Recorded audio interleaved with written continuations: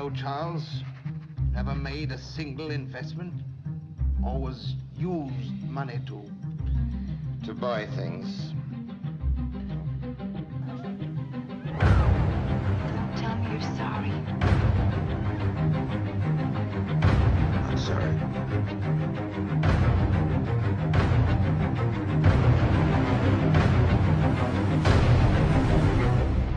Here's a man that could have been president, who was as loved and hated and as talked about as any man in our time. But when he comes to die, he's got something on his mind called Rosebud. Now, what's that? After his death, Find out about Rosebud.